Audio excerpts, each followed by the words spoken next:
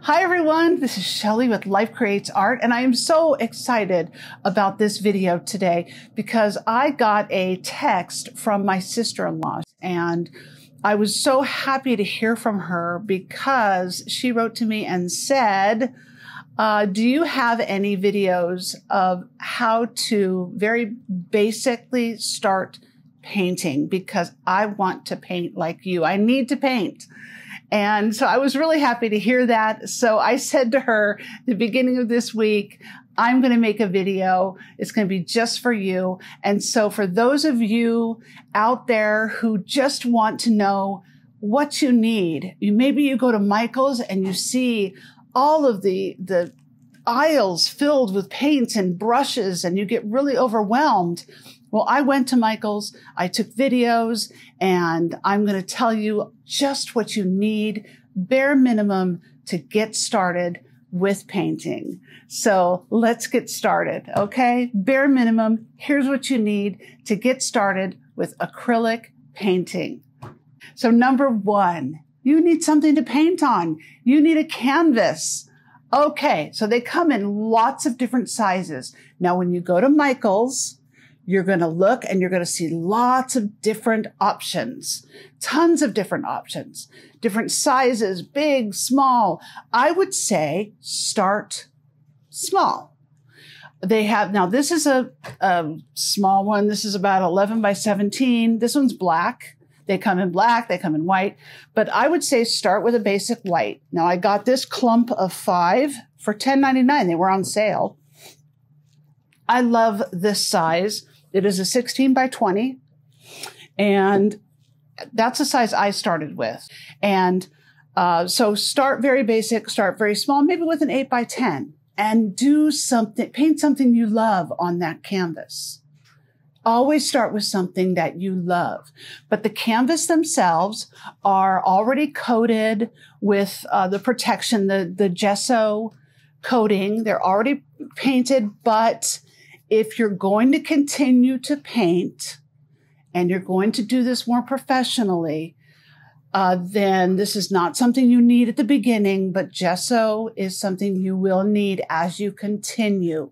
It's called gesso, but this is not something you need at the beginning. Don't worry about it. But once you start, give your, your, uh, canvas a nice coat of, of some, maybe some white paint or just jump in and get started painting and start having some fun.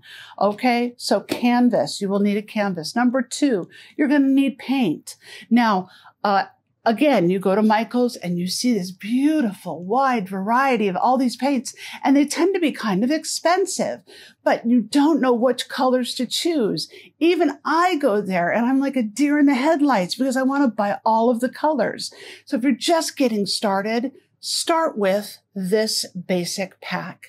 It's just got the basic colors and you can mix the colors to make new colors. Now, what I would say is get this basic pack and get a few, maybe two or three more of your favorite colors and just add on to it. But as you move on, there's lots of different brands that you can get. You know, there's the Artist Loft and lots of different colors with Artist Loft. There's also the Liquitex. There's ones for a little more professional. There's Liquitex Basic. Uh, there's the uh, Winsor Newton, all different kinds of brands that you can choose from, different prices.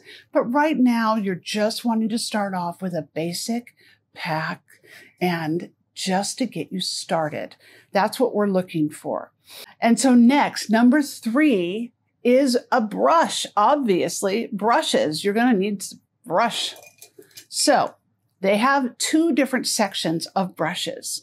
One is going to be the section that is in where the more professional paints are.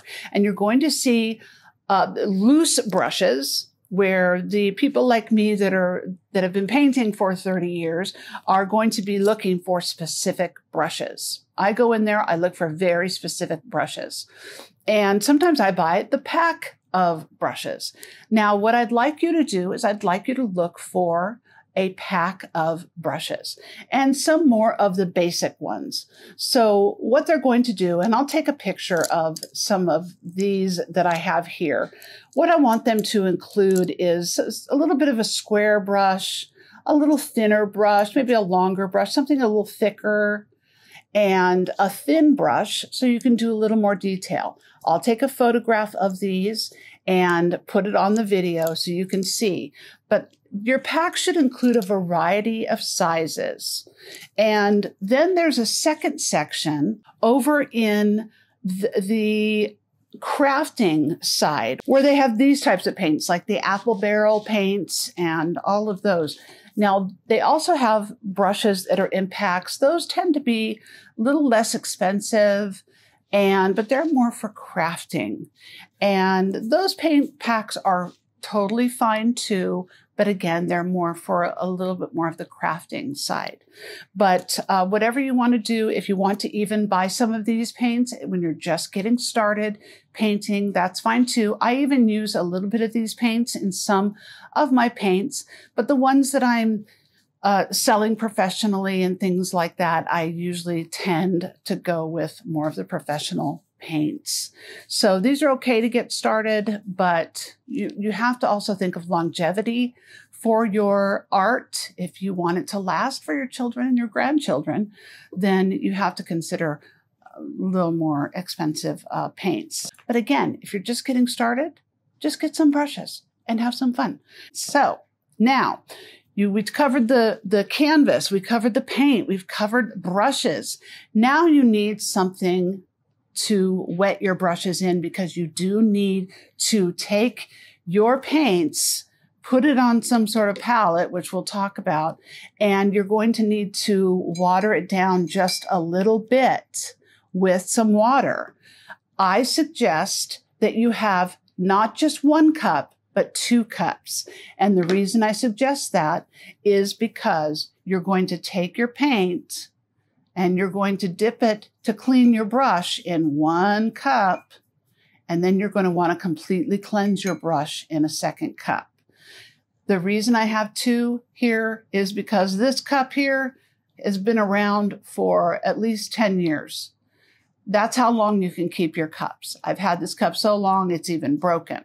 This one, you can get it 99 cents at Dollar Tree. Just before I did this video, I sent my son, I said, go get me a cup so I can show everybody. You can get it at 99 cents at Dollar Tree. And there you go. You can get a water cup for a buck. So uh, it's super cheap, super easy uh, for your water cups. So get two of them and completely clean your brushes. Otherwise, you will taint the paint that you dip in next in your brushes. Uh, now, your palette, those things that you put your paints on, you can use, uh, they have palette paper. They have different palettes you will see at Michael's. I have pictures of those. And I have my palettes. Now I'm really, really bad about my palettes because when, and you can see my palettes here. And the reason I'm really bad is because when I'm done painting, I am done. and and I usually will get up, clean my brushes, and walk away. And so I, although I try to use up most of my paint, I'm I sometimes am really bad, and I have to just walk away from my painting and leave it. And so oftentimes my paint dries on my palette and I can't get it off. So I use a ton of palettes and these are not that expensive, fortunately, but I tend to not really get these palettes very often. So what I do is I found these at Target and they're these little plates. They're 79 cents. And I use a lot of these and I can just throw them away when I'm done. And the great thing about this is the paint often just peels off. So soak it in some water and I can just either scrape the paint off or it peels off the acrylic paint. not talking oils here, talking acrylic paint. And then you could also, now this is not a good example of this, but sometimes I even use paper plates. Uh, if you're just getting started, you can use a paper plate, but as long as it's got a little bit of the wax on the uh, this side, again, this is not a good example because this is all I've had. because you want it to be white so you could see the colors of your paint, but this is the only color that I had. So this is not a great example, but I wanted to show you paper plate, and it's keeping me cool. So, uh, but there you go. So palettes, lots of different options for that. Uh, then rags, you're going to want rags, uh, paper towels, whatever, close to you to clean yourself, to clean your brushes. I'm a very messy painter. I get paint all over me. So these rags obviously have been around for a long time. This is a, an old towel. I think it was a hand towel in our bathroom a long, long time ago. And I just picked it up and started using it as a paint towel. And so it's been with me for a very long time. This is a couple of rags. I think I bought the rags at, I think at Home Depot. You could buy a big pack of rags at Home Depot. And uh, it's not that expensive, but you get a ton of rags, and we use the other rags for cleaning or something like that. I grabbed a couple for painting, or paper towels. You know, we get our paper towels at Costco, and all of that. It's great for cleanup. But have those nearby for sure. Next, you're going to want to cover your table. Now you can see here. Uh, can you see there? I grabbed an old sheet. This sheet, uh, I don't think you can get uh, an idea here, but I've got tons of art on our dining room table right now because I'm working on several projects right now. It's covered in paint and it is an old sheet, an old top cover sheet, and it's just covered in paint. And I sacrificed the sheet for the sake of art. But there's other options that you can do. You can use newspaper, of course, uh, if you're okay with getting some of the ink rubbed off on you. Or again, Dollar Tree, something I had my son pick up. Uh, this plastic table cover, just uh, for a buck, you can uh, protect your table, protect your workspace, and cover that. Be sure you have something that is protecting your workspace. Now, Last but not least, something you do not necessarily need, but you can get. There are easels, little table easels. I did not start with an easel. When I started to paint, I had my canvas just simply laying on a table. So when I started to paint for a long, long time, this is how I was used to painting like this. So it actually took me quite a long time to get used to painting like this then. So it's up to you really what you want to do. The table easels are on sale sometimes at Michael's, maybe $10, sometimes $15. And you can set them on your table, under your table covering. Then I eventually transitioned to my other easel, which is over in the kitchen that I had for many, many years. And I painted it and everything. I mean, we're talking like 25 years that I had that easel and it has a lot of paint and a lot of great memories on it before I bought uh, my new one. So uh, easel, you can go with it or go without it. Just paint on your table. So very, very basic things. You need a canvas. You can paint on rocks, paper, wood, glass. It's up to you. You can paint, uh, you need paint. You need your brushes. You need your water cups. You need your palettes or your plate. You need paper towels or your rags. Don't forget to cover your table and don't forget to cover yourself. I forgot that. As far as your table covering, don't forget to cover yourself. Here is my apron that I've also been using for many, many years. Both sides are covered in paint. And also easel or just paint on the table. So very basic. Don't get overwhelmed when you go to Michael's. Just look for the very, very basics.